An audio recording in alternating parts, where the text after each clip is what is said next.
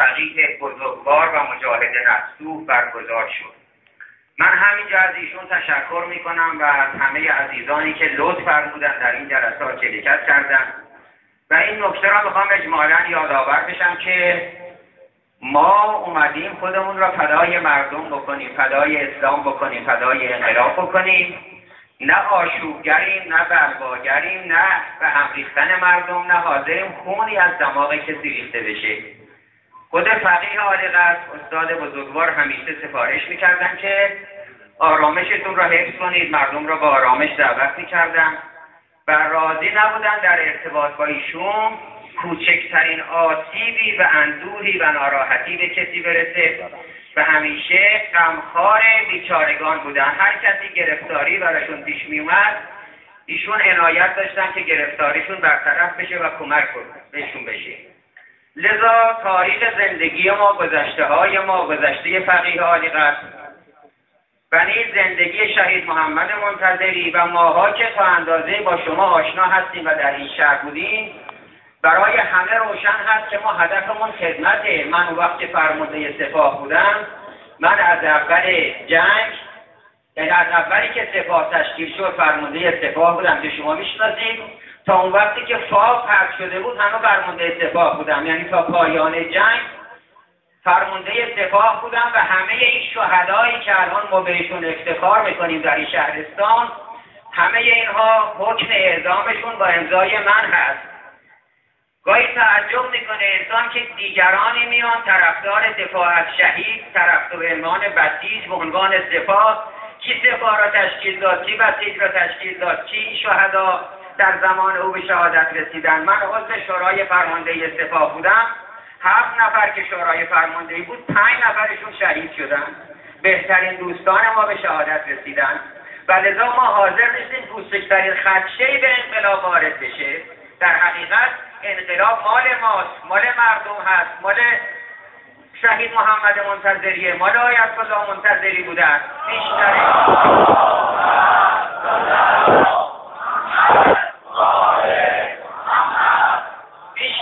زحمات رو ما برای انقلاب کشیدیم. بیشترین هزینه ها رو ما این میگم ما یعنی در رأسش استاد بزرگوار فقیه مجاهد حضرت الله ما منتظری؟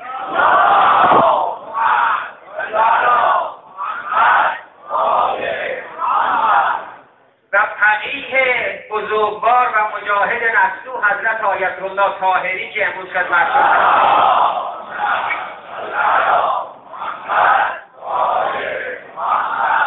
من یادم هست در اون که نفس از کسی در نمیمد کسی جرأت نمی‌کرد از امام دفاع کنه.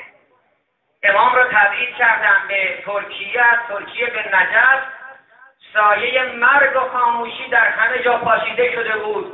این چه کسی بود که در نجف آباد نماز جمعه برگزار کرد؟ چه کسی بود در حسین آباد اصفهان نماز جمعه برگزار کرد؟ و چه کسانی بودن در این نماز جمعه ها شرکت می‌کردن که اونقدر این حساسیت داشت که تلاش می‌کرد به یه شکلی افراد را منصرف بکنه این نماز جمعه ها را تعطیل بکنه به خاطر اینکه پایگاه های روشنگری و روشنفکری در جهت پیشرفت مصالح انقلاب بود. چه کسی زندان رفت؟ چه کسی تبعید شد؟ چه کسی سکنجه شد؟ چه کسی رو جلوی رویش پسرش را شکنجه کردن یادم خدمت استاد بزرگوار فقیه عالی بودیم. میفرمود که برای اینکه منو اذیت کنن و می‌دیدن که تحمل جسمی من کم هست جلو روی من محمد را شکنجه می‌کردن. مرحوم محمد می‌گفت که جلو روی بابام بخاری داغ کرده بودن. سرخ شده بود روی بخاری. مرا مجبور کردن شلوارم را پایین آوردم و برهنه روی بخاری که سرخ شده بشینم آقای منتظری میفرمون ما یه بوی کبابی هم فهمیدیم. کی اینا رو تحمل کرده؟ اون تبعید هایی که آیت الله منتظری شد یه روز خلقال یه روز تقیه یه روز تبعت اون زمانی که هیچ کس جرأت نمی‌کرد اعلامیه‌ای به نفع امام بده. کی بود چه اعلامیه می‌داد؟ ایشون میفرمودد که ما با مرحوم شهید متحری در دست آیت الله حاج روح الله خمینی شرکت می‌کردیم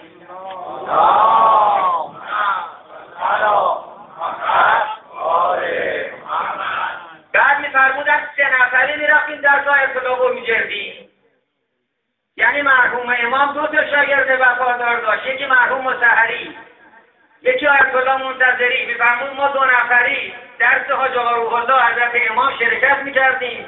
بعد سه نفری می‌رفتیم درس مرحوم آیت الله بروجردی میفرمودن امام رو تغییر کردن. ما گفتیم باید ایشون رو به عنوان مرجع معرفی کنیم چون مرجع مسئولیت داشت. چه کسی علمای شهرستان ها رو تزیه رافته سریع خودتون رو به تهران برسونید به خاطر اینکه جون امام در خطره؟ چه کسی شهریه امام رو تدارک دیده که شهریه امام پرداخت بشه؟ ایشون میفرمودن من از بازار تهران پول قرض کردم.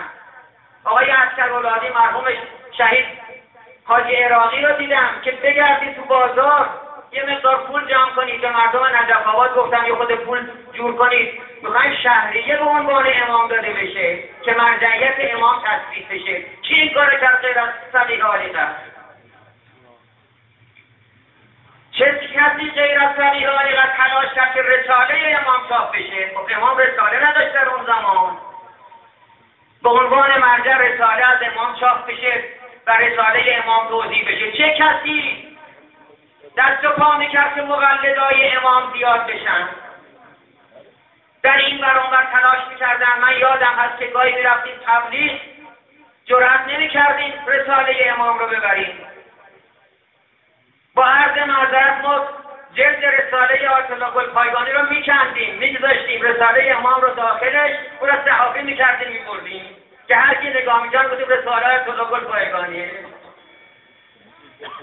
چون نمی‌تونستیم البته خدا اصطلاح فقیه اهل رسالت گلپایگانی هم به این هم راضی بودن. من یادم اقلیت می‌خواستیم بریم. آیت الله ابتهی اونجا در اقلیت نمازات الله گلپایگانی بود. ما بهشون عرض می‌کردیم که ما مقلد امامیم. من بودم حاج آقای روحانی بود بعد از نیروهای مبارزه اومد. گفتیم بخوایم بریم رساله امام رو بخوایم ببریم. ایشون می‌گفت که طوری نیست تو رساله رسول گل پایگانی بذارید و به این شکل بذارید که برای من هم مشکلی درست نشه. چه کسی غیر از فقیه و طلبه های دور و برایشون و یاوران شهید محمد منتظری صدای امام و انقلاب را به اطراف پراکنده کردند.